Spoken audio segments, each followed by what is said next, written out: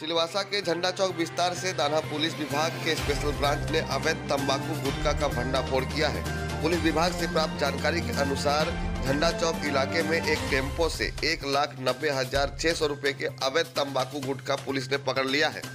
खुफिया जानकारी के आधार पर दादरा एवं नगर हवेली पुलिस विभाग की विशेष शाखा ने इस अवैध गुटखा से भरे टेंपो की जाँच की, जिसके बाद एएसआई एआर वडाविया एवं उनकी टीम ने गाड़ी मालिक से पूछताछ की पूछताछ के बाद भारी मात्रा में अवैध तंबाकू और गुटखा प्राप्त हुआ। इस कार्रवाई के दौरान पुलिस ने टेंपो क्रमांक D D zero one A nine nine eight three समेत अवैध गुटखा को भी जब्त कर लिया है।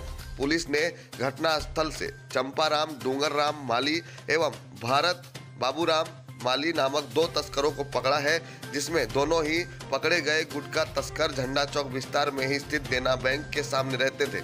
एवं वापी डुंगरा से किसी अजय इंटरप्राइजेस नामक डीलर, जिसका नाम मुलजी राम माली है। उनसे गुटखा तंबाकू लेकर लंबे समय से दादरा एवं नगर हवेली में यह अवैध कारोबार चला रहा था।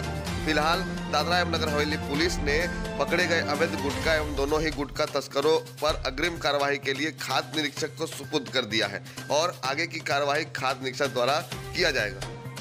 खाद्य निरीक्षक को दादरा एवं नगर हवेली के तमाम किराना दुकान एवं पान की टपरियों का भी निरीक्षण करना चाहिए, क्योंकि दानहा में गुटखा तंबाकू के अवैध कारोबार जोरों से चलाया जा रहा है।